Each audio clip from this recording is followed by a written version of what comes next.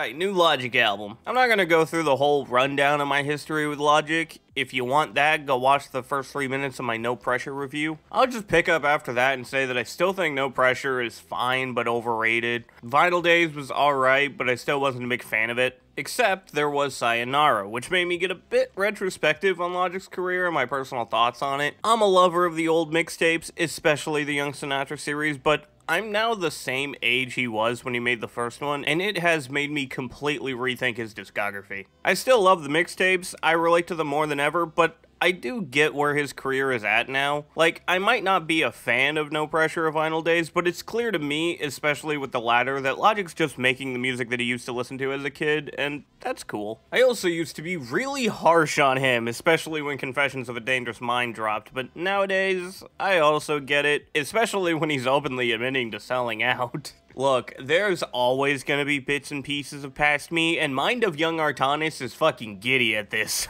but also, like, I was a teenager throughout the release of BT2 to CodeEM, so I didn't really understand jack shit about anything, was really hot-headed at the time. I still don't like those works, but I don't really care about them as much as I used to. Anyways, with all that being said, College Park is the new Logic album, so obviously I'm gonna review it, and luckily for me, I get to make a track-by-track -track review, which is my favorite kind of video to make, so let's waste no time and get straight into it.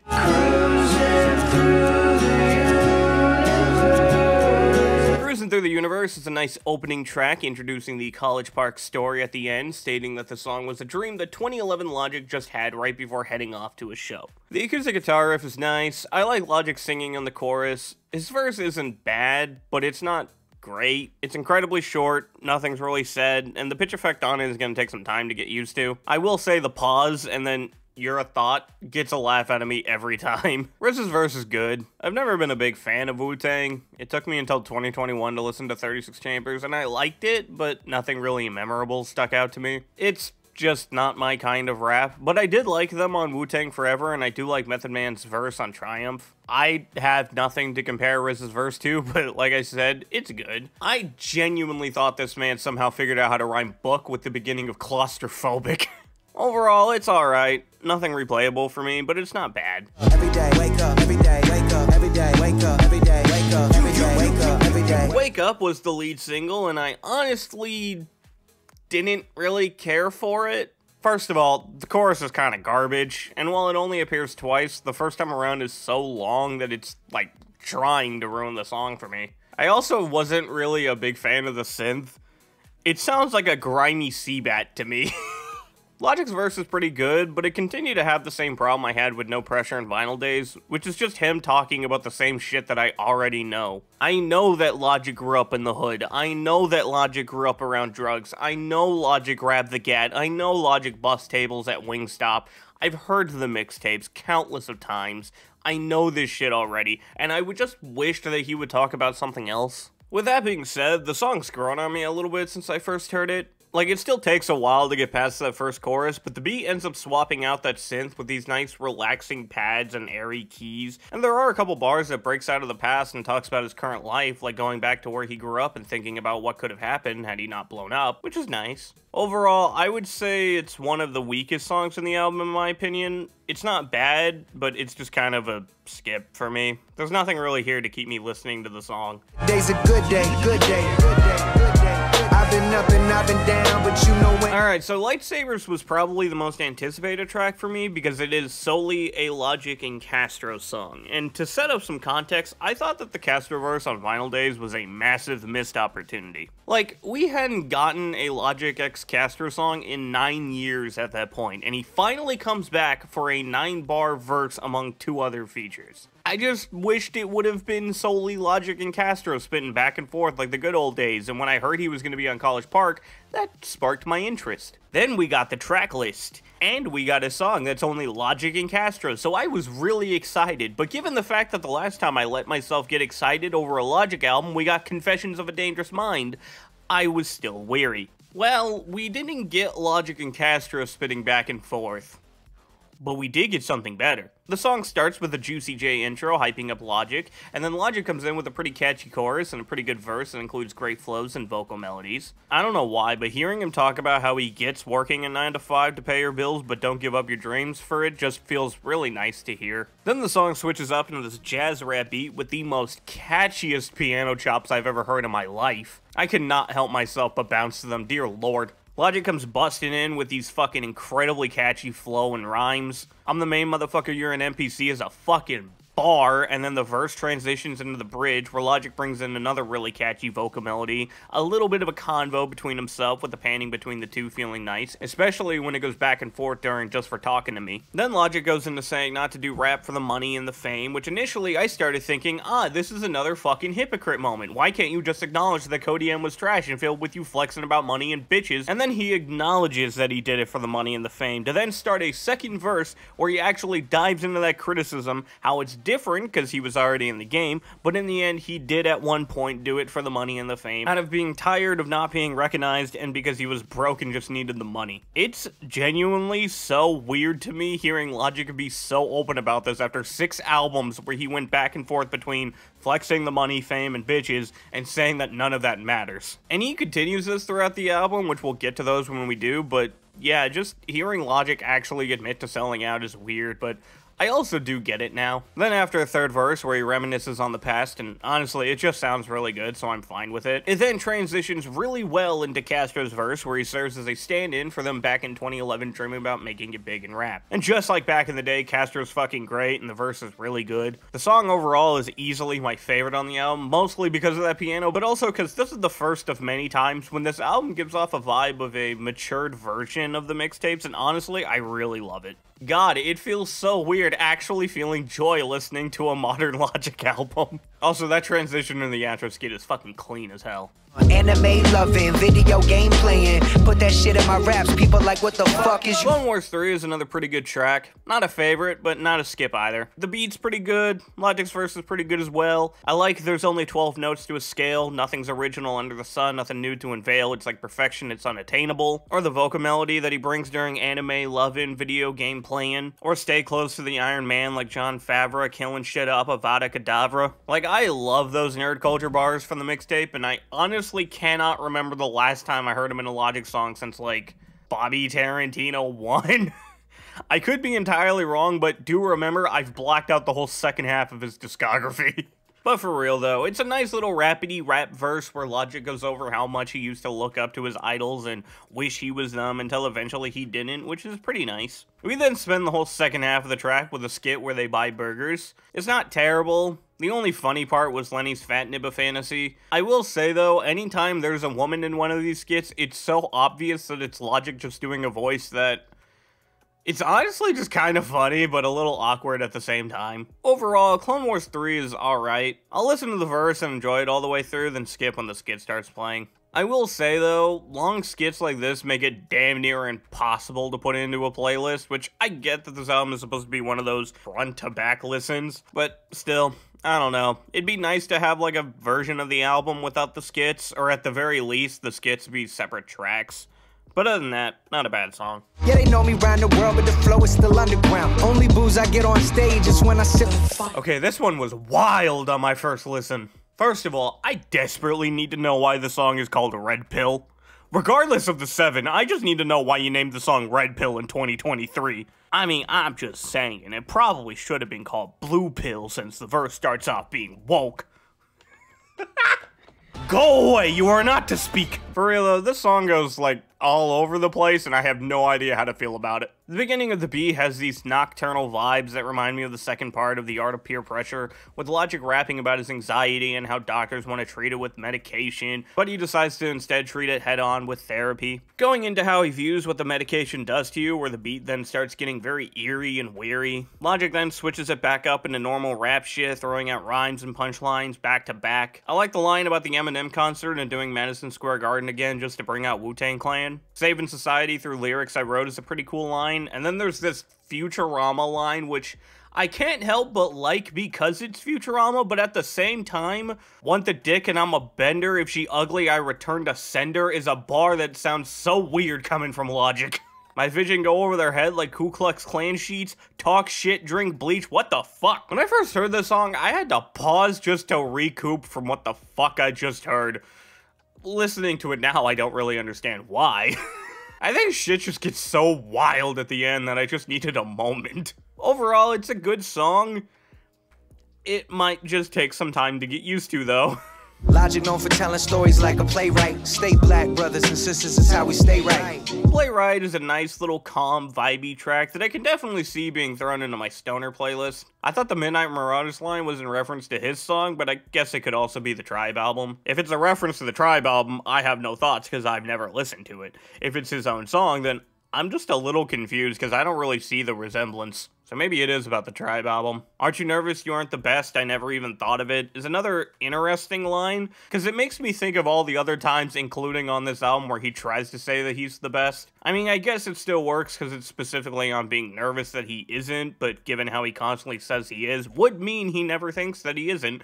But at the same time, it's hard to say that you're the best when Supermarket and Cody M are in your discography. Other than that, Playwright isn't bad, not really memorable. Like I said, I could definitely see this playing during a smoke session, but that's pretty much it. We get another skit where Logic is telling Castro how to be a hype man and referencing All I Do, which then transitions into the next track. Well, good thing I brought beat CDs. You did? Duh. Lenny, throw this in. I'm trying to freestyle.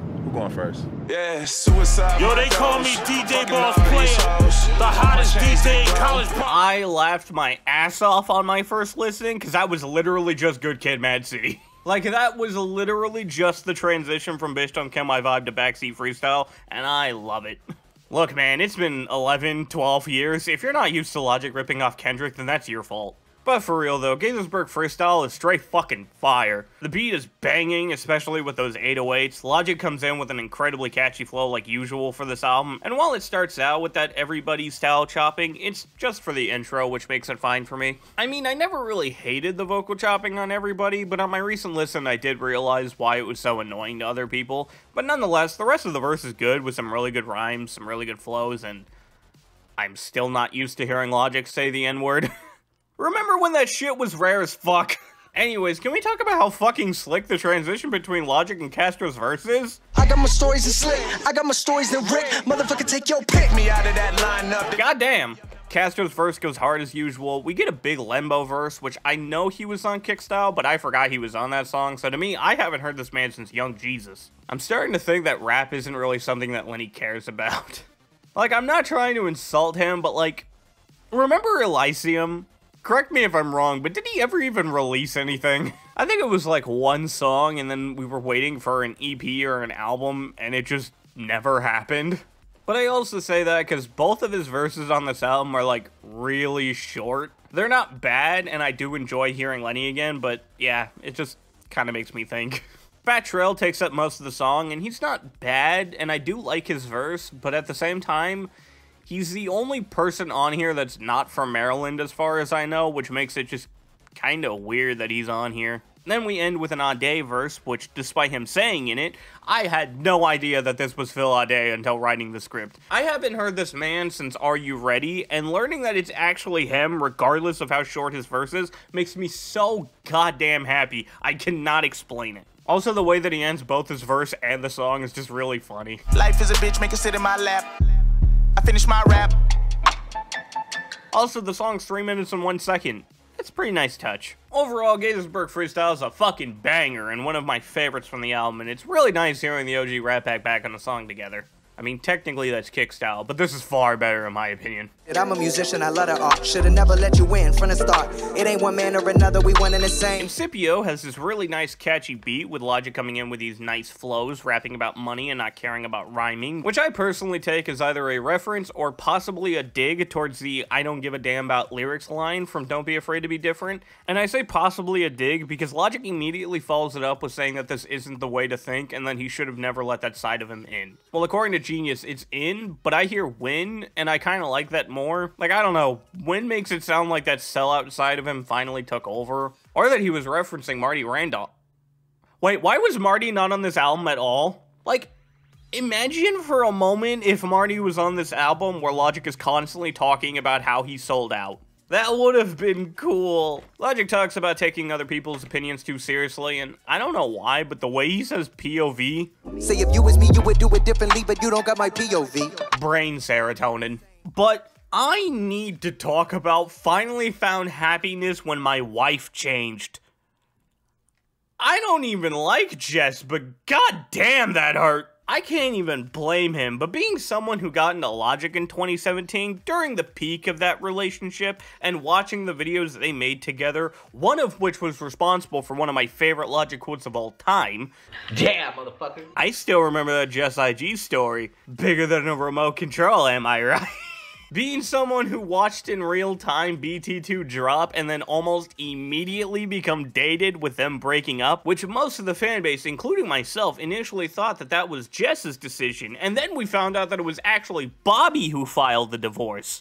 Being someone who still remembers that one comment on Jess's Instagram saying that she looked cuter with the ring on, and her replying being, I agree, to then hear Logic say, finally found happiness when my wife changed. That is brutal. I was like halfway through the next song and I was still thinking about this line. It is so out of left field for Logic and his whole peace, love, and positivity. But like I said, I can't blame him. Overall, I'd say it's another good song. Probably another one that'll go on the stoner playlist, but I'm I'm still just trying to process finally found happiness when my wife changed cuz Jesus fucking Christ. That is the most brutal fucking thing I've ever heard that man say. Nothing come close to sampling ill shit. Not even self medication, no matter how good it's sip. The song is about Peter Griffin smoking crack. For real though, self-medication is a song that honestly I'm not the biggest fan. Now don't get me wrong, Logic's good on it. Redman's verse is also pretty good, especially with those opening bars, goddamn. And then he just comes out of nowhere saying, I learned how to fuck from the babysitter and I.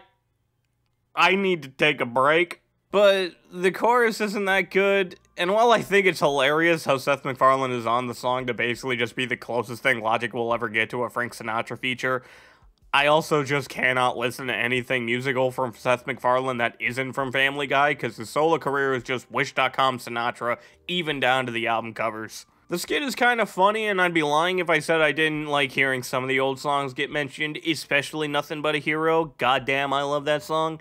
But overall, Self Medication is probably my least favorite on the album, if I'm being honest. There's just nothing really here that makes me want to go back to it. Shimmy, shimmy, y'all, bitch, I get money like ODB. Shimmy, shimmy, yeah, I'm finally eating. Shimmy's a brag rap interpolating the ODB song Shimmy Shimmy Ya on this nice cold, kinda trap, kinda boom bap beat that, while not really being anything special, it's not a skip, not a favorite, but I do enjoy it when it comes on. Logic's verse is probably the weakest on the album, while the Joey feature is pretty good. The beat kinda makes me think of Perfect, which makes me want to say that why I'm fine with Shimmy is because one, it's a two and a half minute song, so it actually feels proper and finished, unlike Perfect, and two, this isn't an album trying to be an under pressure sequel, and it doesn't feel as jarring as Perfect did. Other than that, I honestly don't really have anything else to say about the song.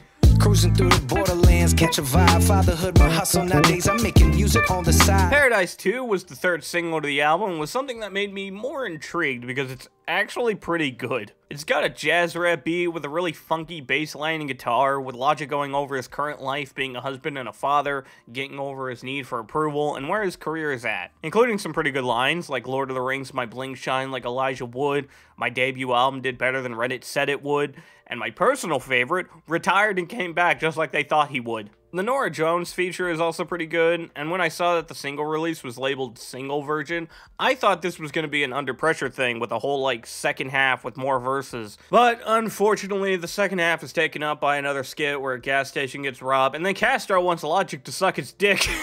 like I said, it's a good song and has pretty much what I wanted from No Pressure. Logic talking about his current life. I don't think it's anywhere near the best on the album, but like I said, pretty good. And honestly, I think it might be better than the first Paradise. Come on down. I want the gold, I want the change, I want the, I want the. Come on down. Come On Down features Jordan Harris, which it took me a while before I remembered that that's his bodyguard. the song opens up with Jordan talking about someone who's willing to sell his soul, which then leads into the chorus with Logic, I assume rapping from the perspective of this person, saying that he wants the world, money, gold, chains, respect, love, fame, and ultimately to be someone that he isn't. Wow, this album even does everybody better. That also goes into the verse where Logic talks about how growing up in the hood means that he's told to just be a thug, sell drugs, and only rap about the money and bitches, no therapy. Which honestly, given what he said on this album, that was probably a little bit of his mentality, but I don't think it's a one-to-one of his actual life. So like I said, doing everybody better, because I didn't need Logic to tell me he was rapping from the perspective of somebody else. I was able to figure that out on my own by just listening to the song. The outro from Lil Keke is also really true and really sad. And honestly pretty enlightening to me personally, because I'm just a fucking white dude who grew up middle class in the suburbs. I don't know this life. The chorus is also pretty fucking good, I'm not gonna lie. Overall, it's a nice little quick song that's, once again, pretty good. I've been trying to drink less, but I feel like when I drink, I'm at my best. Not a care in the world. No. Village Slum is an example of Logic still talking about the past that I think actually works, and at least for me personally is something that I'm down to listen to, because it's also blended with the present, with him talking about his growing up around alcohol, with his parents being alcoholics, and going to AA meetings as a kid. With this being his childhood, even at 30 it still scares him to drink because it reminds him of what he saw, how alcohol can so easily destroy your life, and that being a drug-addicted alcoholic was his fate, but he broke the cycle. It's honestly a hard-hitting song, and I think that it's one of Logic's best verses on the album. It's not a track that I see myself playing often, but that's because I'm currently in a phase of listening to turn-up vibey shit, and a song about alcoholism doesn't really fit that. But no, yeah, great song. Then we get a skit about Logic and his initial relationship with weed and succumbing to peer pressure, which fits with the meaning of the initial song, and also, I like how Logic delivers this. Just hit the shit, man. Bro, I gotta be on stage in like fucking 40 minutes. I'm not trying to perform in the 10th dimension having panic attacks and shit on stage, man. Fuck all that. High Life was the second single, and what made me low-key a little optimistically hyped for the album, because I actually like this song. I don't love it, and it has gotten old pretty quickly, but I mean, come on, I'm a stoner. I was gonna like this. The beat's got this nice, airy vibe to it. The acoustic guitar is at a nice touch. The verses aren't really anything special, but for a stoner track, it doesn't need to be. It's just a nice vibe. I honestly kind of love how Logic performs. And the third verse brings in some flows that feel very reminiscent of the old music, along with it ending with interpolating under pressure. Look, man, all I'm saying is that if you're not used to Logic repeating his own lines 100,000 times throughout his discography, that's your fault. Overall, a generic stoner track, but easily my favorite out of all the Stony Bob tracks. And also, I like how the music video is basically Clerks 4, with it even being directed by Kevin Smith.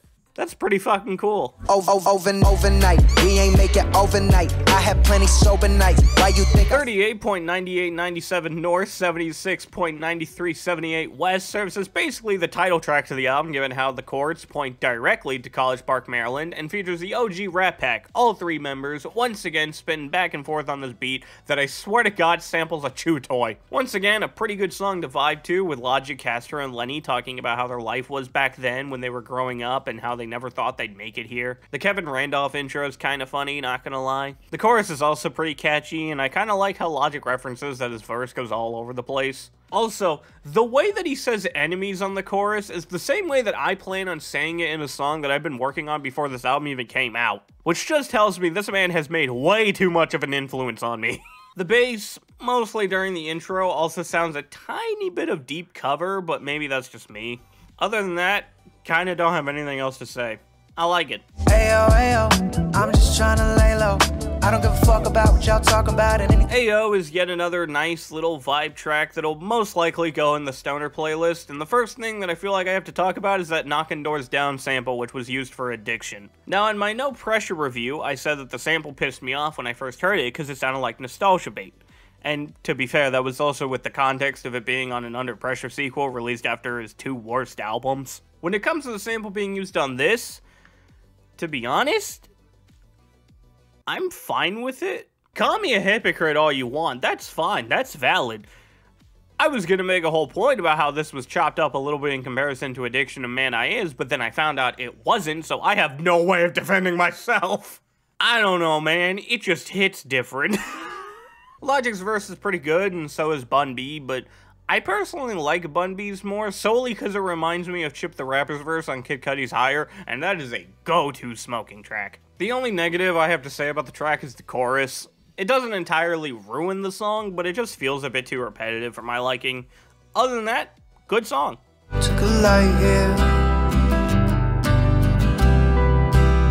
Lightyear is such a fantastic outro track, and the first time since Under Pressure that I've been fine with a long Logic song. Like that 9 minute title track, I will listen all the way through from the start to the end, including all the voicemails because the verses are solid and the instrumentation is always slightly changing, that there's not a single moment I don't enjoy the song. But I've never really cared about the Incredible True Stories title track, or Africaryan, or Last Call, or Obediently Yours, and while Sayonara did get me a little emotional in retrospective, it's never really had any replay value for me. Lightyear, on the other hand, holy goddamn. We start the song off with Logic talking about how he'll never change, he'll never do it for the money, he'll never do a radio song, and if he does, then that's the day that his shit will be whack and he would have sold out. Just like Lightsabers, this initially came across as the hypocritical shit that I was so tired of hearing until that interlude kicks in, and Logic is basically talking to his younger self and laughing at that shit, to then go into this giant ass verse where he once again admits that he sold out and going into depth on why. Doing so for the money and so his family will be good. That his children wouldn't have to grow up in poverty, and now that he's got the money and that fridge is full, he's back to doing his old school rap shit. That he used the radio friendly song to try to spread PLP, thinking that he could save the world, but had to come to terms that he can only just affect it, and that he doesn't regret it because he's fulfilled that dream that he had as a kid. He also admits to being wrote off in 2019, which again, that inner mind of young Artanis is screaming right now. There's also that line about how the hunger is gone because he doesn't have to prove himself anymore, which, I mean, yeah, I kind of knew that already, but I was looking at the post Under Pressure albums as Logic succeeded, so he just got lazy. But now, after hearing the song, and I mean the whole album as well, I understand what happened, and that he still has the skill and the talent to bring out good shit. He just got tired and instead copped the bag for himself, friends, and family before coming back to it. And to see an artist admit that is pretty fucking cool. I mean, I grew up with hearing my dad talk about Metallica and the Black Album and how they went more mainstream and how they're now lazy. And as a teenager listening to this while simultaneously watching Logic's career quickly fall, growing a dislike for 1 800 being so poppy sounding, or all the pop moments on YS4, or everything about Confessions of a Dangerous Mind, I ended up just adapting that same mindset. Like when Logic says 2019 I got wrote off, that's true even for my case. Like, I wrote Logic off after Cody M and swore I'd never give him a single cent again, like my dad did with Metallica. But then No Pressure came out and he said he was retiring, so I said fuck it and bought the Logic poster that I always wanted and put all the songs back into my playlists. My videos are all about my opinion and personal feelings towards the things that I'm talking about, and Logic is one of those very rare artists that I have such a massive connection to that spans across multiple years and multiple stories. So getting a song like this, I don't know the words to describe how I feel.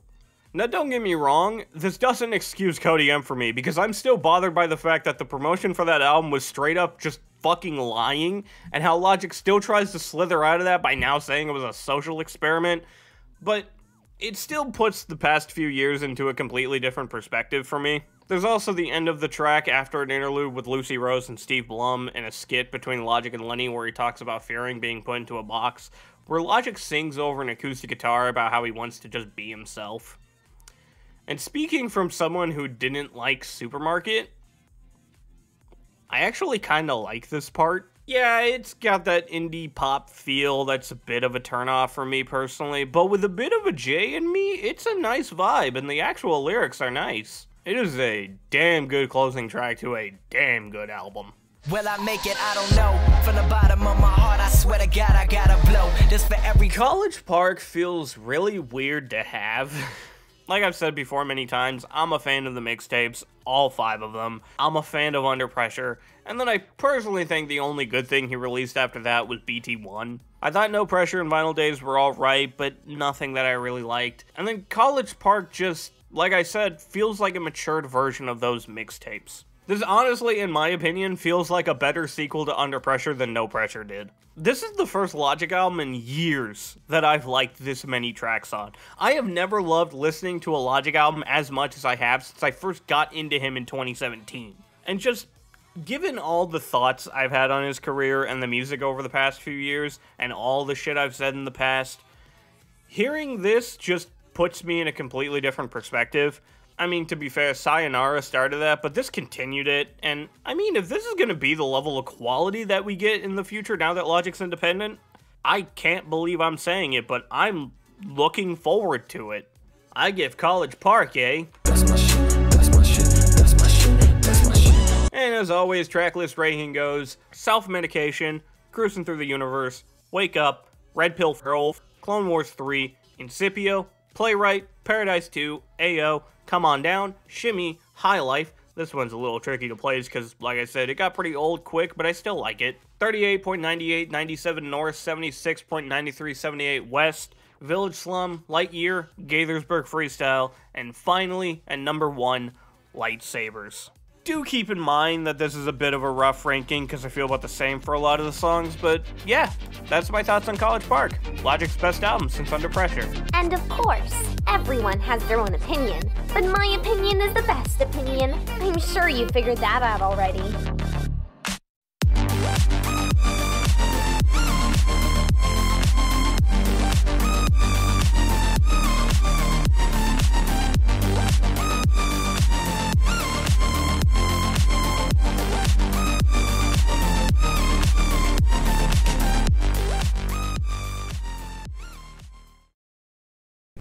I have please?